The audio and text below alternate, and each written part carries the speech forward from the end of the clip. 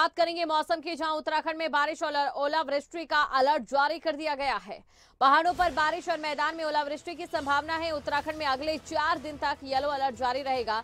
उत्तरकाशी, चमोली, पिथौरागढ़ में अलर्ट जारी है। बागेश्वर में भी बारिश और बर्फबारी की संभावना है। ये बड़ी खबर आपको हम बता रहे हैं। उत्तरकाशी, चमोली और पिथौरागढ़ में अलर्ट जारी कर दिया गया है। बागेश्वर में भी बारिश और बर्फबारी की संभावना है। ओलावृष्टि का अलर्ट जारी कर दिया गया। तो देखिए, अब जाती हुई सर्दी कहीं ना कहीं अपने साथ जाड़ा लेकर आई है। उत्तरकाशी, चमोली, पिथौरागढ़ की अगर बात करें तो यहाँ पर अलर्ट जारी कर दिया गया और बागेश्वर में भी बारिश और बर्फबारी की संभावना जताई गई है।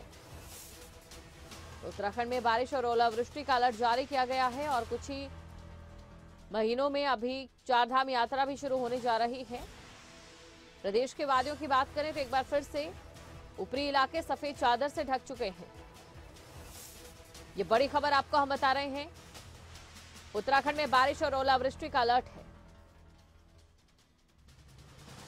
खबर पर अधिक जानकारी के साथ संवाददाता नासिर हमारे साथ जुड़ चुके हैं। नासिर जी, जानना चाहेंगे आपसे, क्योंकि ये देखिए, बारिश और जो ओलावृष्टि हो रही है, इसका क्या असर पड़ेगा किसानों पर?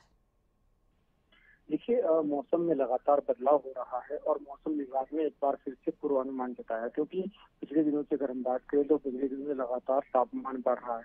यानी मौसम में गर्मी दिख रही है। लगातार दिन में धूप निकल रही है। हालाँकि शाम के वक्त थोड़ी ठंड ज़रूर रहती है, लेकिन दिन में बहुत तेज धूप निकल रही है, जिसकी वजह से मौसम का तापमान लगातार बढ़ता जा रहा है। वहीं जो पूर्वानुमान जताया गया, उसमें ये कहा गया है कि आने वाले दो दिनों में उत्तराखंड के जो पहाड़ी जनपद है, वहाँ पर कई जगहों पर बारिश और ओलावृष्टि हो रही है। कई जगह पर बारिश और ओलावृष्टि देर रात भी हुई है और हल्की सिर्फ़ जो ढाई हज़ार मीटर से ऊपर वाले इलाके वहाँ पर कहीं कहीं पर बर्फबारी भी हुई है। तो इस तरीके से येलो अलर्ट जताया गया उसमें साफ़ तौर पर यह कहा गया है कि खास तौर पर किसानों के लिए ये पूर्वानुमान जताया गया है क्योंकि अब होने वाली बारिश और जो ओलावृष्टि है, उससे कहीं ना कहीं कुछ फ़सलों को नुकसान होगा। इसलिए उसका इंतज़ाम पहले किसानों को कर लेना चाहिए। और साथ ही साथ चूँकि तापमान बढ़ रहा है, फिर बारिश हो रही है, फिर ठंडक हो रही है तो इन चीज़ों से जो लोग हैं, उनको बचना चाहिए। क्योंकि अगर ऐसा नहीं होगा तो ज़ाहिर तौर पर आने वाली कुछ बीमारियाँ उनमें इसकी वजह से घेर सकते कहीं तापमान बढ़ रहा है, कभी घट रहा है।